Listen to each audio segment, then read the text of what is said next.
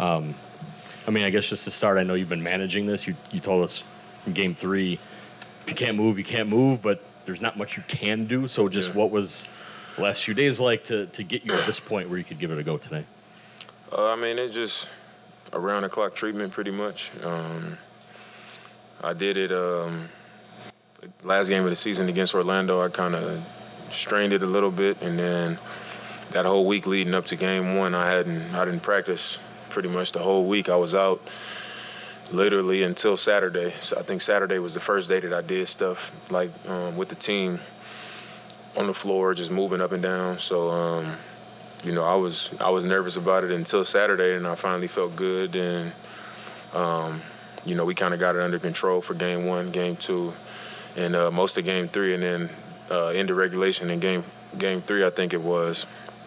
Tried to steal a ball and, and just did it all over again, pretty much. So it was back to back to square one with that. So I guess like how I mean, how did it go today? And for you to feel good, like you weren't going to put yourself in danger uh, of something more I serious. mean, I I did the same thing. Like I said, just a bunch of treatment. Um, you know, I went from the boot to crutches for a little bit to keep so much weight off of it, um, keep some stress off of it. And treatment, treatment, treatment. You know, just pretty much around the clock. And um, I came in this morning um, at like 9:30. We came to the arena.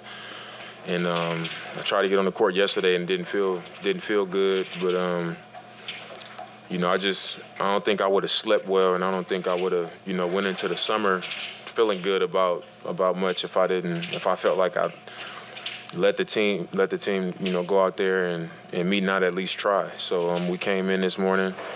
I did a workout, you know, like 45 minutes on the court this morning just to to move around and just to see like if I what happens if I jump off my right foot and shoot step backs and pull up jumpers and stuff. And uh, it was a little tender, but I felt like I could manage it, you know. Um, went back to the hotel, did some more treatment, and um, you know I pretty much was in there all the way up until it was time to get on the bus. And uh, you know it was like, all right, let's let's see how I feel when I do my pregame. And um, I did my pregame shooting, and I think just being in the building, seeing all the the t-shirts um, on the chairs, I started moving around a little bit, and I was just like, you know, fuck it, I'm gonna I'm gonna play. Let's let's just do it. You know, this is it. Um, it's no guarantees that we gonna make it back home, and I, you know, I want to be out there. So that was it. Obviously, this is the end of your first season in Milwaukee. Um, uh, just, uh, I guess, uh, how do you feel like this season ended up going for you? Obviously, I, I know it doesn't end the way that you wanted to, Yeah. but just can you take us through kind of what this season has been like for you? Uh, it was, I think it was a, it was a roller coaster of a year. Um, but I think for me personally, it was a, a year of growth more than anything. Um, my first time being a part of a different organization than the Trailblazers, you know, after 11 years, um, picking up my my life and you know being away from my family and away from my kids. you know, being traded so late into the summer, um, playing for multiple coaches, trying to uh, find myself um, within, you know, a, a new dynamic, you know, a new team, a new organization, playing with um, another superstar player, um, another great player in, in K Mid. Um, so just trying to find my space within that, with everything else happening all at the same time. I think it just um, it was a lot for me to to fight through, you know. But I, I take a lot of pride in um, standing tall, you know, when things don't go as planned or go how I would like them to go. Um, and I, I always want to look back and, and be able to tell myself that as a man, like you know, when I when I didn't play well, um, when things didn't go how I might have expected it to go, when I was going through some things, whatever, you know, whether people knew about it or not. Um, I stood tall in it. You know, I never made an excuse or nothing like that. And um, it was a, a long year of that for me.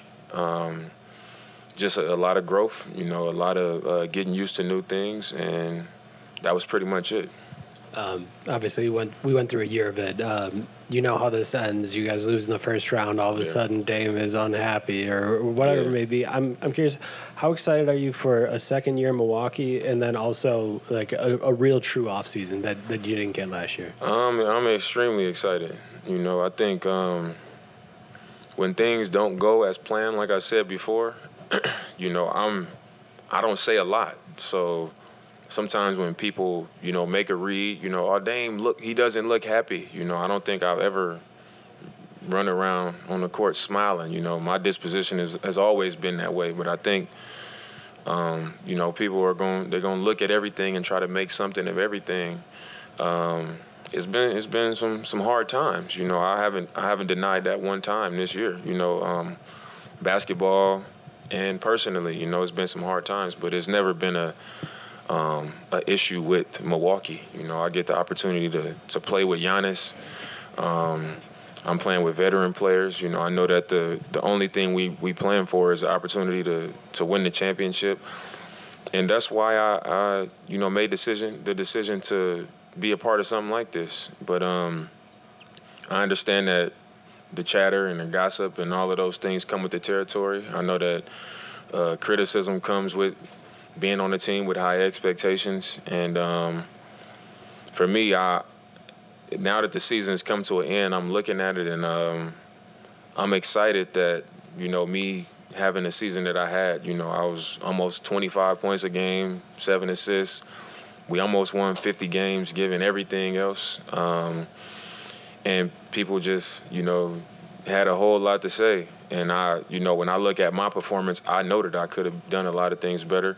And I know that I'm going to have a full season of knowing who, the coach I'm going to be playing for, um, having a better idea of um, the guys that I'm going to be playing with, um, being in Milwaukee. You know, I kind of settled into things here. So having a regular off season and being able to actually, you know, train and be able to do live stuff. Last year I couldn't do certain things because I couldn't get hurt because I knew I was going to get traded. So um, I think going into to next season, um, people will be they'll be really surprised that you know how much of an impact all of these things actually did have um, when they see me when they see me come back. I know you guys can't control injuries, but just how disappointing was it uh, to not be able to play with Giannis on the floor in the playoffs after obviously that being the thing? It was it's, it's, very disappointing, but um, you know it's it's part of the game. It happens. You know I think that's one thing that you you can do as much training. You can do all the things that you want to do. You can't control when a random play might happen. You know it can happen at any time. Uh, and when you get to the playoffs, the more the more healthy team is going to win. You know, it's it's hard to reach the playoffs and be fully healthy for every team, but when you do, you know, it's a it's a blessing to be able to do that. Now you got a, a better opportunity, and we just weren't able to do that this season. We didn't. We kind of limped into the playoffs, and then had guys getting banged up during the series. Um, but that's that's fair. You know, that's that's part of the game. You know, there's no there's no excuse for us. You know, we didn't make it healthy. Other teams made it more healthy, and we we got beat. But um, it's definitely disappointing because you know um, how much better of a team we are when he's on the floor, and how much things change when he's on the floor, and you play an entire 82 game season. You go through training camp. You go through all the uh, ups and downs of a NBA regular season, and you get to the point where all right, now we're gonna play for everything, and you're not whole. You know, you don't have the, the best opportunity to to reach where you want to reach. So it's it's frustrating, it's disappointing, but uh, you know, it's part of the game. And then uh, you mentioned just the coaching change, but what kind of impact now did Doc have coming in midseason, and what um, are you just excited about going forward to have him as coach? Uh, I think his uh, his experience and his voice. You know, I think he just has a a way of reaching um, a team. You know, he's a, a, leader of men. He's not afraid to to say what the truth is. You know, regardless of who might be offended by it or who the offender of what he's speaking on is. You know, it, it doesn't matter. And I think. Um, to be the best version of ourselves as a team. You know, having stars on your team and, and, veterans and guys with the type of experience we have, you need somebody that's going to be willing to challenge them and deal with whatever comes back. And I think because of who he is, his experience, um, he's a, the person for that. And um, I'm excited to know, you know, the, who I'm going to be playing for. You know, knowing him as a person, um, being with him for half a season. Now I know what he expects. I know um, what his style is.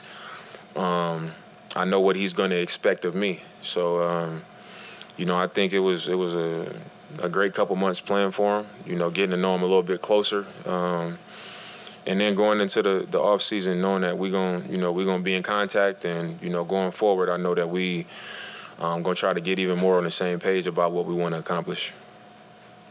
Um, maybe a, along those lines, are you someone who, if you're walking out and you'll say, like a, a what could have been, you, the three of you only played six full games with Doc over three months.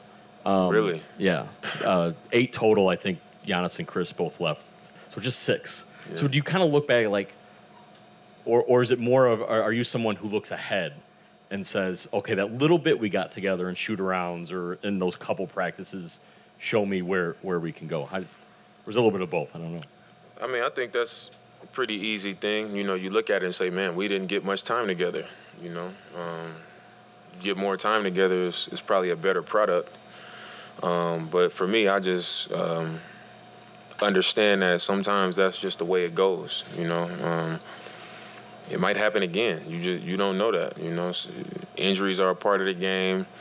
Um, you never know what's what's going to come up in the NBA season. Um, but I'm to answer your question. I think I'm definitely more of a um, look forward kind of guy. But I don't ignore what what happened prior. You know, um, I do think it's important for us to be able to be on the floor more together, um, and we just weren't able to do that this season. Without you, without Giannis, Khris kind of carries the team through yeah. a couple games. Just uh, obviously, this is your first year getting to know Khris as well. Yeah. Just what do you feel like you learned maybe about him that that you didn't know before, or, or anything like that? Uh, I always respected his game. You know, just as a player that wasn't a part of this organization. You know, I've been um, on the USA team with Khris in 2021. Um, the teams that I've played on, you know, when we talk about players, you know, people respect his game, and I always respected his game. Um, but I think just what I've learned that I didn't know is, you know, he's been dealing with injuries all season long. You know, he's been banged up even toward the end of the season, and um, you know, Giannis is out. Then I go out. You know, it was a perfect opportunity for, and I think he actually like rolled his ankle or hurt his knee again during that time.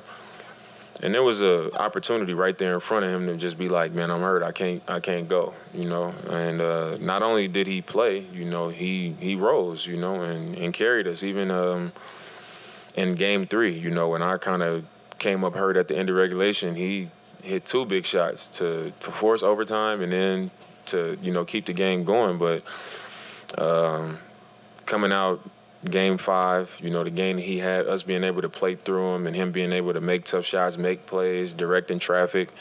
Um, I just think his presence, you know, um, was huge for our team in this series while we didn't play, and I think it just shows who he is, you know, and you know, I, I already had a lot of respect for him, but I, I gained even more respect for him because I I like to look at players and I wonder, you know, who's going to think how I think and who's going to be willing to, to go out how I would go out.